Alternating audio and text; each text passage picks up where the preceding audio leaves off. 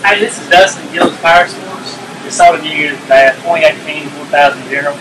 We'll be putting a, a top, a windshield, rear grill, we'll put a Stealth 6 soundbar on this one. We'll have a 30 inch curved block bar on the front. You know, should be, should be sometime this evening we'll be posting done pictures of this. And we'll have, have it all ready to go.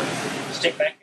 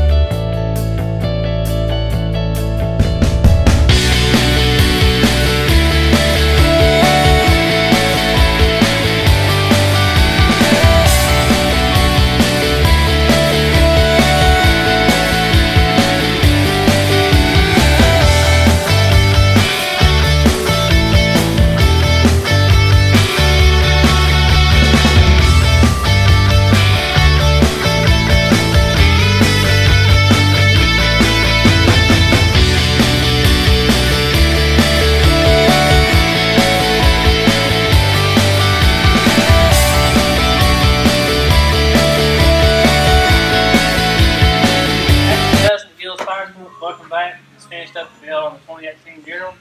You said we put a put a top, windshield, rear glass. You see inside we put a Stealth 6 in it. Also, you've got a remote for the Stealth 6 on the steering wheel. You know, also have rear view mirror in this unit. Also, we put a 32 inch curved light bar up on top.